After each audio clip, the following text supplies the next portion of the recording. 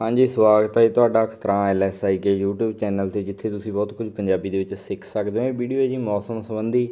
ਅਗਲੇ ਆਉਣ ਵਾਲੇ 3-4 ਦਿਨ 17 18 19 ਵੈਸੇ ਅੱਜ ਤੋਂ ਬੱਦਲਬਾਈ ਪੰਜਾਬ ਦੇ ਵਿੱਚ ਬਣੀ ਹੋਈ ਹੈ ਤੇ ਮੀਂਹ ਦੀ ਸੰਭਾਵਨਾ ਬਣ ਰਹੀ ਹੈ ਜੀ ਤੇ ਗਰਮੀ ਵੀ ਖਤਮ ਹੋ ਜੂ। ਜਿਹੜੇ ਆਮ ਸ਼ਹਿਰੀ ਜਾਂ ਆਮ ਪਿੰਡੂ, ਇਹਨਾਂ ਦਾ ਖੇਤੀ ਨਾਲ ਸੰਬੰਧ ਨਹੀਂ, ਉਹ ਤਾਂ ਕਹਿੰਦੇ ਵੀ ਬਾਰਿਸ਼ ਹੋ ਜੇ, ਤਾਂ ਠੰਡ ਹੋ ਜੇ ਕਿਉਂਕਿ ਗਰਮੀ ਬਹੁਤ ਜ਼ਿਆਦਾ ਹੈ, ਭਾਦੋਂ ਦੇ ਆਖਰੀ ਦਿਨਾਂ 'ਚ ਅੱਜ ਵੈਸੇ ਇੱਕ ਅੱਸੂ ਹੋ ਗਿਆ। ਅੱਸੂ ਦੇ ਮਹੀਨੇ 'ਚ ਗਰਮੀ ਲਗਭਗ ਖਤਮ ਹੋ ਜਾਂਦੀ ਹੈ। ਪਹਿਲੇ ਕੁਝ ਦਿਨਾਂ 'ਚ ਲਗਭਗ ਦਾ ਮਤਲਬ ਇਹੀ ਹੈ ਵੀ ਜਿਹੜੀ ਆਖਰੀ ਬਾਰਿਸ਼ ਹੁੰਦੀ ਹੈ ਭਾਦੋਂ ਦੇ ਦਿਨਾਂ 'ਚ ਜਾਂ ਅੱਸੂ ਦੇ ਪਹਿਲੇ ਦਿਨਾਂ 'ਚ, ਉਸ ਤੋਂ ਬਾਅਦ ਗਰਮੀ ਹੈ ਜਿਹੜੀ ਚੱਕੀ ਜਾਂਦੀ ਹੈ।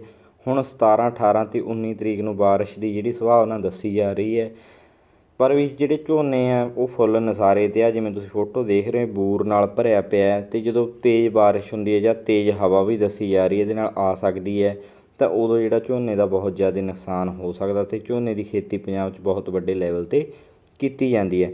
ਦੂਜੀ ਫਸਲ ਹੈ ਜੀ ਨਰਮਾ ਮੇਨ, ਉਹ ਵੀ ਲਗਭਗ ਖਿੜੇ ਪਏ ਆ ਜਾਂ ਬੂ- ਫੁੱਲ, ਬੂਟੀ ਉਹਦੇ ਨਾਲ ਉਹ ਭਰੇ ਪਏ ਆ, ਉਹ ਵੀ ਝੜ ਜੂਗੀ, ਉਹਦਾ ਵੀ ਕਾਫੀ ਜ਼ਿਆਦਾ ਨੁਕਸਾਨ ਹੈਗਾ।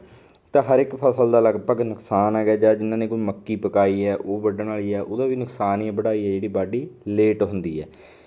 ਤੇ ਬਾਕੀ ਇਹ ਫਸਲਾਂ ਨਾਲ ਨੁਕਸਾਨ ਹੈ ਮੀਂਹ ਦਾ। ਤੇ ਪਰ ਵੀ ਇਹਦਾ ਚਾਂਸ ਹੈ, ਜਿਹੜੇ ਹਰਿਆਣੇ ਦੇ ਜ਼ਿਲ੍ਹੇ ਆ, ਰਾਜਸਥਾਨ ਗੰਗਾ ਨਗਰ ਠੀਕ ਹੈ ਜੀ ਜਿਵੇਂ, ਤੇ ਆਪਣਾ ਹਿਸਾਰ ਹੋ ਗਿਆ, ਬਠਿੰਡਾ ਹੋ ਗਿਆ, ਮਾਨਸਾ ਹੋ ਗਿਆ, ਫਿਰੋਜ਼ਪੁਰ, ਮੁਕਤਸਰ।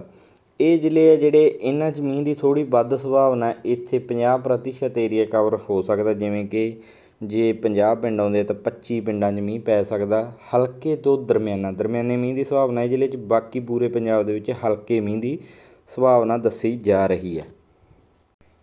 ਇਹ ਮੀਂਹ ਹਲਕਾ ਪਵੇ, ਕਿਤੇ ਪੈ ਜੇ, ਕਿਤੇ ਰਹਿ ਜੇ, ਪਰ ਵੀ ਨਾ ਵੀ ਪਵੇ ਭਾਵੇਂ ਬਿਲਕੁਲ ਬੱਦਲਵਾਈ ਹੋ ਕੇ ਜਿਹੜਾ ਟਲ ਵੀ ਸਕਦਾ ਹੈਗਾ, ਬਹੁਤ ਘੱਟ ਕਈ ਵਾਰ ਮੀਂਹ ਪੈਂਦਾ, ਪਰ ਚਾਂਸ ਹੈ ਜਿਹੜਾ 25 ਤੋਂ 50 ਪ੍ਰਤੀਸ਼ਤ ਏਰੀਆ ਇਹ ਕਵਰ ਹੋ ਸਕਦਾ ਹੈਗਾ। ਅਤੇ ਉਸ ਤੋਂ ਬਾਅਦ ਆ ਜਿਹੜੀ ਗਰਮੀ ਹੈ, ਉਹ ਨਾ ਮਾਤਰ ਰਹਿ ਜੂਗੀ, ਬਹੁਤ ਘੱਟ ਜੂਗੀ, ਠੰਡ ਦੀ ਵਾਪਸੀ ਹੋ ਸਕਦੀ ਹੈ ਠੀਕ ਹੈ ਜੀ। ਅਤੇ ਤੁਹਾਨੂੰ ਵੀਡੀਓ ਵਧੀਆ ਲੱਗੀ, ਇਹਨੂੰ ਲਾਈਕ ਸ਼ੇਅਰ ਜ਼ਰੂਰ ਕਰੋ, ਜਾਣਕਾਰੀ ਦਿੱਤੀ ਹੈ ਟਾਈਮ ਸਰ ਅਤੇ ਜੇ ਕੋਈ ਵੱਡੇ ਬਦਲਾਅ ਦੀ ਸੰਭਾਵਨਾ ਹੋਈ, ਤਾਂ ਅਸੀਂ ਤੁਹਾਨੂੰ ਵੀਡੀਓ ਰਾਹੀਂ ਦੱਸ ਦੇਵਾਂਗੇ। ਧੰਨਵਾਦ ਜੀ।